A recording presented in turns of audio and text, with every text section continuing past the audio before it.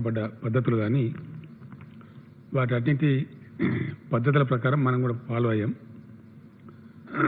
Government of India కూడా ఎప్పటికప్పుడు guide lines issue చేస్తూ వచ్చారు. దాంతో మొత్తం మనకు ఈ జబ్బు మన దేశంలో పుట్టిన జబ్బు కాదు కాబట్టి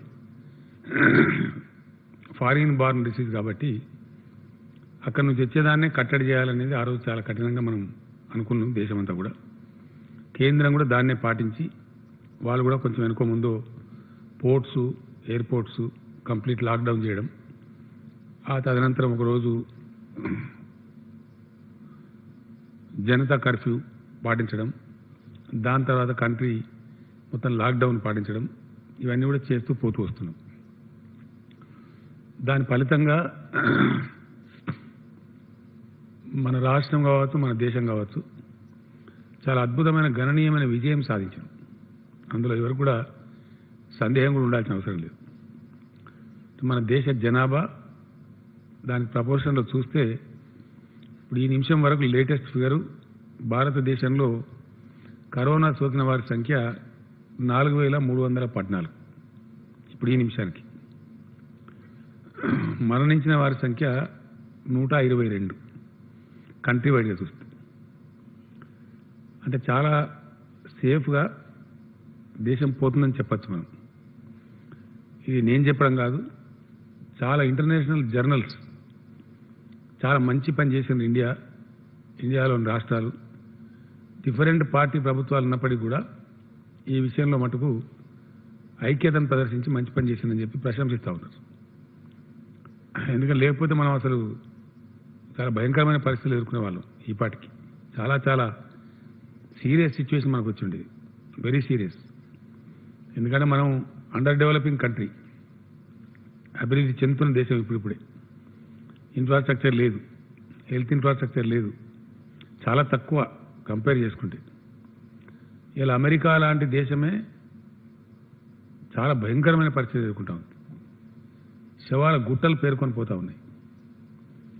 అమెరికా ఫైనాన్షియల్ క్యాపిటల్ అని పిలువబడే న్యూయార్క్లో ఈరోజు శవాల గుట్టల్ని అక్కడ నుంచి వస్తున్న స్టోరీస్ అయితే చాలా ప్యాథెటిక్గా ఉన్నాయి. అసలు మనుషులకు సంభవించినంత బాధాకరంగా హృదయ విదారకంగా ఉన్నాయి. మానవ జాతికి సంభవించకూడదు ఈ బాధ. అంత బాధ అనిపిస్తుంది మనకు కూడా. ట్రక్కులు నింపి పంపుతుండండి శవాలను. ఐస్ ఉండేట్టు రెఫ్రిజిరేటెడ్ ట్రక్స్ నింపి పంపిస్తారు ఆడబాడేస్తారు తగలబెడతారు ఏం చేస్తారో కానీ అది అంత దుస్థితి. చాలా దయనీయ పరిస్థితి. కొడుకులు లేరు బిడ్డలు లేరు శవాన్ని ముట్టుకుంటూ లేడు కనీసం చూసిరో లేడు శవాన్ని. అంత దిక్కుమాలిన పరిస్థితిలో ఇలా అంత పవర్ ఉన్న దేశం. ఇన్ఫ్రాస్ట్రక్చర్ రీత్యా శక్తి రీత్యా ఆర్మీ రీత్యా అనేకమైనటువంటి బలగం ఉన్నటువంటి దేశం బలం ఉన్న దేశం. కూడా ఇలా అసహాయ స్థితి గురైపోయింది. ఆ ప్రపోర్షన్ మనగానే వచ్చి ఉంటే కోట్ల మంది చచ్చిపోయేటోళ్ళు అసలు మనం ఎటు కాకుండా అయిపోయేటోళ్ళు. చాలా ఒక రకంగా చెప్పండి కంట్రోల్లోనే పోతున్నామని చెప్పుకోవచ్చు మనం. మన రాష్ట్రానికి సంబంధించి మొదటి ఫేజ్లో విదేశాల నుంచి వచ్చినటువంటి వాళ్ళు తిరిగి వచ్చిన వాళ్ళు ఎక్కువ వాళ్ళని ఫారిన్ రిటర్నీస్ అని పిలిచినాం మనం. వాళ్ళు వాళ్ళ ద్వారా కొంతమందికి ట్రాన్స్మిట్ అయిన వాళ్ళు.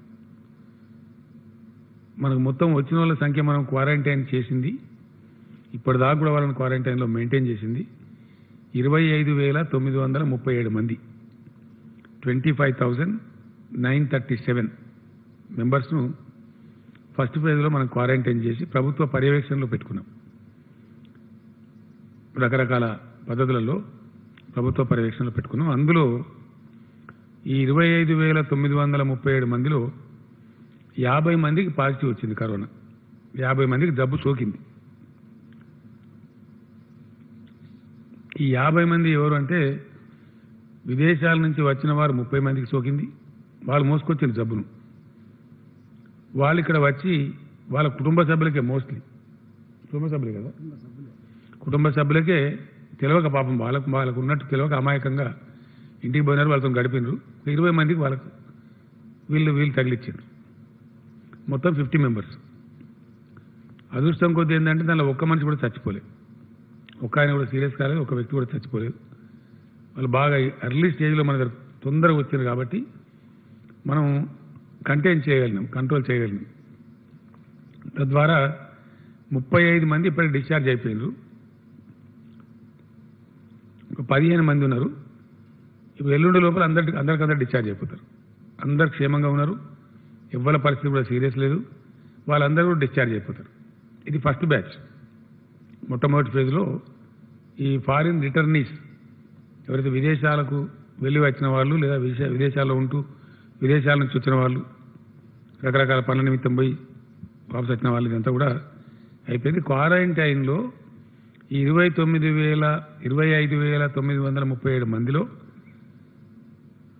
కేవలం ఈ రోజు అంటే రేపటికి అయిపోతా ఉంది వాళ్ళకి. రేపు సాయంత్రానికి క్లోజ్ అయిపోతా ఉంది వీళ్ళ అకౌంట్ మొత్తం. రేపటికి రెండు వందల యాభై ఎనిమిది మంది మాత్రం ఉన్నారు ఇప్పుడు. రేపు సాయంత్రం ఈ టైంకి వాళ్ళని కూడా డిశ్చార్జ్ చేసేస్తాం మనం. వదిలేస్తాం వాళ్ళతో మనకు పని లేదు. వాళ్ళ పీరియడ్ అయిపోయింది టెస్ట్ కూడా అయిపోయినాయి. ఫైనల్ కూడా వాళ్ళు నెగిటివ్ వచ్చారు కాబట్టి వాళ్ళను గడువు కూడా అయిపోతూ ఉంది. ఈ ఈ నైన్త్ లోపు మొత్తం పాత బ్యాచ్ కంప్లీట్ అయిపోతుంది ఏం లేకుండా. హోప్ఫుల్లీ వాళ్ళకి ఎవరు కూడా ఏం కాలేదు వాళ్ళు సీరియస్ లేరు కాబట్టి. అందరూ కూడా సంతోషంగా